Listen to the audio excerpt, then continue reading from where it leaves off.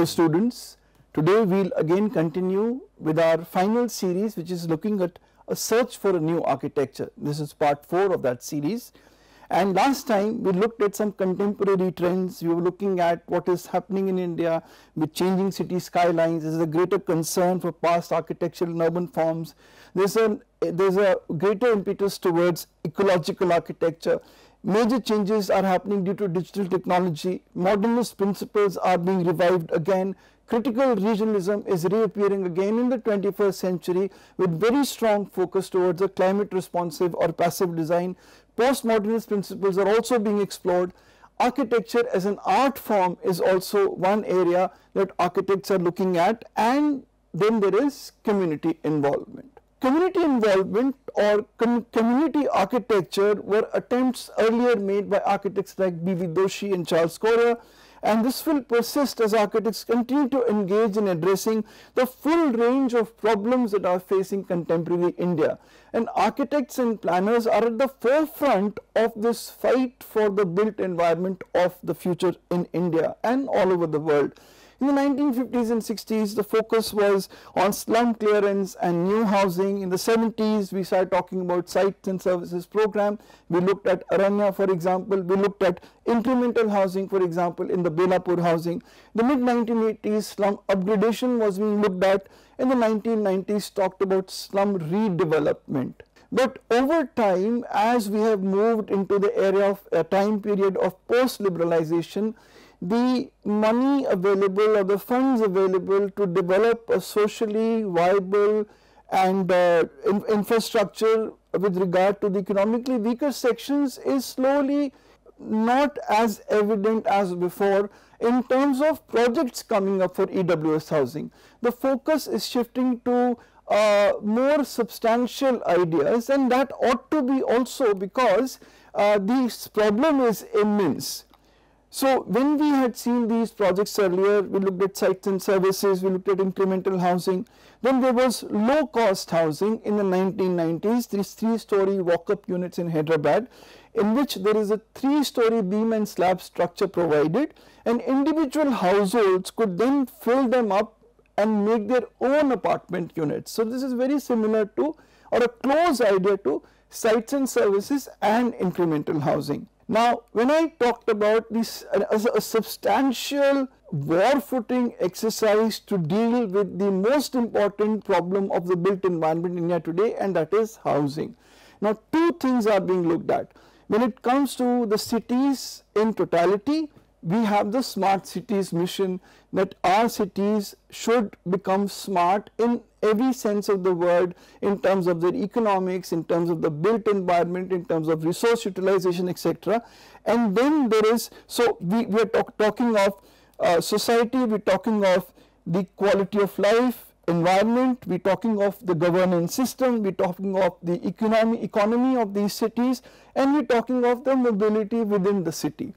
Then focusing on architecture on, on smart city side we are looking at planning and then focusing on architecture we are looking at the uh, schemes like the Pradhan Mantri Awas Yojana.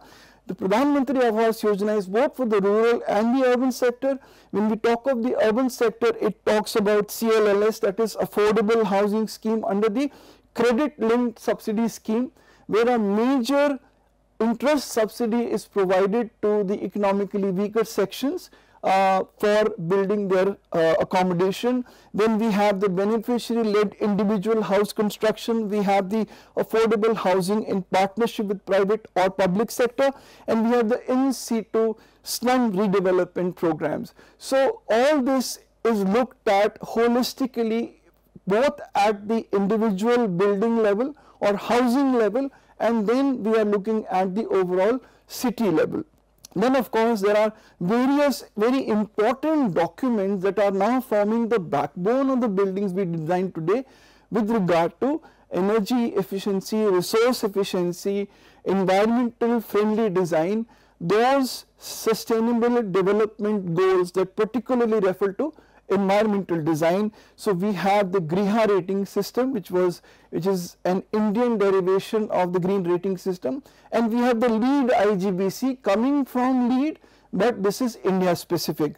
And then we have the energy conservation building code formed in connect with the Bureau of Energy Efficiency to design energy efficient buildings today. Now the narrative in Indian architecture is changing. Architecture in India is no longer being looked through a western narrative. The variety defies us putting us ourselves or our architecture into a pigeonhole because Indian architecture is moving forward on its own terms. It is a reflection of a very of a, a stronger and a more confident nation. Now both Gandhi and Nehru had understood one thing that we can neither be tradition nor modernity are not sufficient in themselves. Rather it is a mix of tradition with modernity that leads to a sustainable development. So architects right from our first generation that we had seen earlier were searching for this balance between tradition and modernity that has always been an endeavor, an objective and also uh, a, a problem to be resolved. How do we connect a long history and a long traditional background with the rising modernism? Young architects are also committed to this search for a meaningful architecture and they are no longer going to be bogged down by stifling categories.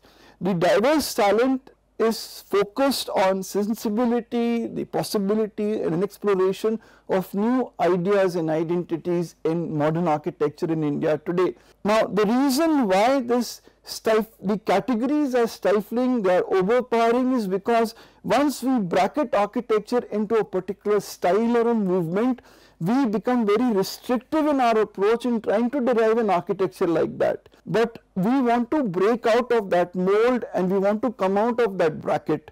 We want to develop an architecture or rather the young generation of Indian architects want to develop an architecture that is not predicated to a western ideology per se and that is not also predicated to uh, forcing ourselves to make uh, to explore traditional ideas where they do not work. So they want to have that freedom to come up with an architecture that will truly work, that will be practical and that will be total, truly viable. So there are examples, lots of young architectural firms are coming up like Sameep Padora of SP plus A. This is the Buddhist center at Sakarwadi and it is a spiritual and skill development center for the native Dalit Ambedkar Buddhist community and the mandate here was not to harm a single tree. So this is an ecologically focused design. Then there is the a, a smaller project, the Tara Book Building um, uh, which is in Chennai by Mode uh, Architects and this is a multifunctional space for a small independent publication house which is known for handcrafted visual books for both children and adults. These are the pictures of that particular building. Then there is the healthcare center at Dharampuri by, by Flying Elephant Studios. These are all young firms which are coming up with very interesting, innovative, forward-looking architecture. There is the Sai temple at Venachar by sea as you can see the very form is a reflection of the temple form of architecture. So, there is a connect between modernity and tradition. The Management Institute in Bhubaneswar by Abin Chaudhary, it is a very interesting building and Abin Chaudhary is one of the serious upcoming talents in India. This is again the same project and the use of uh, historical mythological features on the building facade and the use of cement stabilized earth blocks in construction of the management institute. Then there is a kind of sensitivity and sensibility in the young generation of Indian architects like that of Lijo Reny architects in Thrissur in Kerala. Now the region is known for the use of wood for wooden laterite buildings and these this group of architects, this couple, they face this question that why is it that their buildings do not reflect this local identity of the use of wood and laterite? And their answer is the context should not be defined by signs and symbols but issues. Now there is a very critical issue here. There is a shortage of sand and laterite in Kerala and there is a restraint on using wood. So just to imbibe that regional identity by using such materials which will cause serious ecological problems is not wise. That is the sensitivity and sensibility in their architecture. Their buildings are climatically responsive and also evocative. They also evoke the idea of a local architecture, for example, courtyard planning, but it is in a modern context. Their practice is to innovate rather than remain trapped in old ideas of regionalism. So, the building is modern, the building responds to a modern space organization and to modern needs, yet it is responsive to the local climate and also to the kind of spaces needed within which are in connection with a regional identity. So, there is for example, the breathing wall house or the breathing wall residence and then there is the walls and vaults house. Let us take the example of the breathing wall residence in Kerala by uh, uh, uh, I am sorry I get the name wrong, it is Lijo Reny Architects and uh, it is a narrow plot in which it has a Corten steel surface as the facade you can see here which is a perforated sheet in Corten steel allowing for natural ventilation and resistant to harsh tropical climate. How? You see Corten steel has a tendency to have natural rusting as would happen in steel if it was getting impacted by the elements. But in this case in Corten steel the rust works to its advantage and creates a fine layer on top of it which protects it. The rust acting against steel ra uh, rather than rust acting against steel works in favor of it and it gives it certain text color a, a patina that is very attractive and not only that the central atrium of the house it's like a courtyard space it pulls in natural light and ventilation and it's also a landscaped core with a staircase leading to the uh, to both the east and west wings of the house. The ventilation to other parts of the house is also through this perforated Corten steel wall. Now these pictures show you this is looking up, this is looking up the house. Uh, we look up to, to from to, with the right staircase on our right side of the picture which connects the two blocks of the house in the east and the west and this picture actually shows you how brightly and naturally lit the house is from inside and this shows a centrally positioned atrium uh, which is running through the center of the house and having lush vegetation. Now, despite the emergence of these creative practices in India, there is still a demand for good design and but this demand for good design is not growing substantially. The press, now the pressing issues that are facing us that is that is one problem that the demand for good design is not growing substantially. The other is there is a pressing demand for energy conservation and, and, and energy conservation and climate change a pressing demand to bring down energy consumption and that is an issue that I have repeated uh, so many times in these presentations that I believe this is one of the most critical areas facing the built environment of tomorrow and it, it has to be done on an emergency footing the work in this area. So architects cannot now make design decisions based solely on aesthetics and function or convenience and environmentally sensitive design is imperative rather an environmentally sensitive design culture to develop in architects and students of architecture has now become imperative.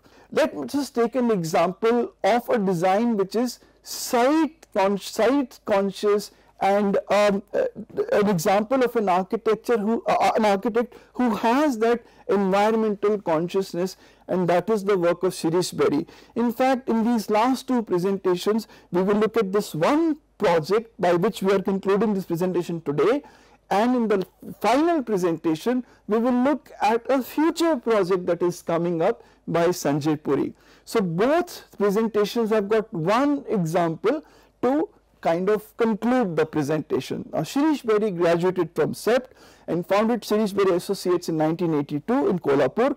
His work is said to be free and spontaneous and is not bound by the restraints of any particular style. Just as I mentioned a while back, that not to be bound by stifling styles and movements.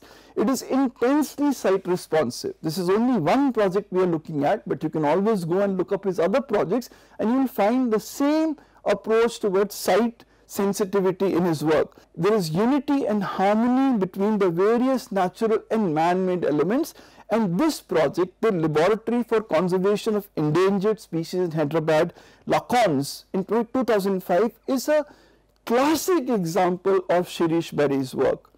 This is on a 4 acre site with a built up area of 4200 square meters and if you look at the form, it reminds you of something. So if you are aware, it reminds you for example of a seashell, of a, of, of a snail, for a snail shell, but more than that it reminds us of the Fibonacci spiral. Now if you want to understand the, the, the, the, the use of the Fibonacci series or the Fibonacci spiral in architecture, please look up the works of Corbusier in Chandigarh where the Fibonacci spiral is fitting very well and here it is. The plan is derived from the Fibonacci spiral and this is how the plan has been organized. These are the two, the, the second floor plan, the first floor plan and it is a it is a site with huge rocks but the rocks have not been eliminated the rocks have been retained and this is where the arrival plaza is and the, there is an organically designed structural glazing which forms the backdrop and we will talk a little more about it. This is how the glazing is. Now the glazing does two things. By, by, by circumventing it, by putting it in a curvilinear fashion in this way on the site, we are not letting it destroy the site. We are not letting it destroy the rocks on the site, but we are retaining that the architect is so confident and bold in his design that he is not concerned that right in front of this elevation there is a big rock in front. He is confident, self-confident I would say that he knows this rock will add to his elevation not take away from it and he is not so self-conscious that you know his architecture will be overpowered by these natural elements and so we do find the result it actually adds to the design. Not only that the glass itself serves a function of reflecting the natural landscape. So in fact the glass not only disappears in the background by the way it has been put in but also because it is glass so it reflects the natural landscape. These are the sections, there are two sections, one is this AA section that you see here and then one is the CC section that is going through and through like this that you see here. And then you have the, the design idea to create a facade by avoiding typical visual image of a man-made building. In other words, what I just mentioned a while back. So let's take a comparison. This was the site what it was originally and this is what happened. What an amazing thing Shirish Beri has done. He has retained it just as it is He has retained even the contours more or less as they are and the building is formed around them. Rather than building imposing itself on the site, his building merges with the site. Again reminded of Wright statement, a house should be off the hill and not on the hill. And here we have these beautiful clusters of these rars, locks and boulders which have an immense design potential and the architect is fully exploiting them by making them a part of the overall scheme and the, uh, the, the elevation of the facade of the building. So we have the structural glazing, we have the rocks and boulders and the glass curtain wall is bonded to the structural system. There is a reflection of these rocks, sky and landscaping in the glazing so much so so much so that it becomes a non-facade. It simply disappears in the background, it simply uh, becomes one with the surrounding scape of the, the site. So, and there is also comparison of course, we are looking at a building which is completely in an urban setting. This is the Willis Faber Dumas, it was built in the 1970s designed by Norman Foster in, in, in England. And here it is Shirish Beri's work. And as I can see both have this curvilinear facade, both were uh, built to connect it to the site. In the case of Willis Faber Dumas which is an urban setting, the site was polygonal the site was like this only and Norman Foster did not try to fit the building on an irregular site. He made the site boundaries to have this curvilinear glazing and occupied it completely. And therefore, the site curves were defined by the boundaries of the site. In Shirish Beri's case also, the site topography, the elements on the site define the elevation there is the use of materials. He is using the stone which is locally found here in the construction of the building and the great advantage is the rocky texture, the texture of the rock and the texture of the stone which is cut and dressed and used in the building is the same and this is where we see the rocks appearing in the glass elevation. The entire construction of the compound wall, even the roads etc. is done by using the stones that have been obtained on the site and this is the view of the inside and the outside and it is so that inside and outside seem to merge with each other. So when I am standing on the inside, except for the fact that this is a structural glazing requires a support to make it stand, basically inside and outside seem to totally relate with each other. These are some of the other views of the building, the interiors and you can see there are other things also with regard to diffuse lighting, the use of the, the, the, the natural light in the daytime etc which is also a part of the overall scheme. So we come to the end of this first presentation of a search for a new architecture where we again once reminded ourselves once again in some of the areas of focus of modern architecture, we reminded ourselves about community development, we reminded ourselves of the approach of young architects to merge modernity with tradition and we reminded ourselves that technology is also going to play a key role along with the fact that environmentally conscious design is vitally important for the years to come. I will end here and we will come back to the last and final presentation of this series next time. Thank you.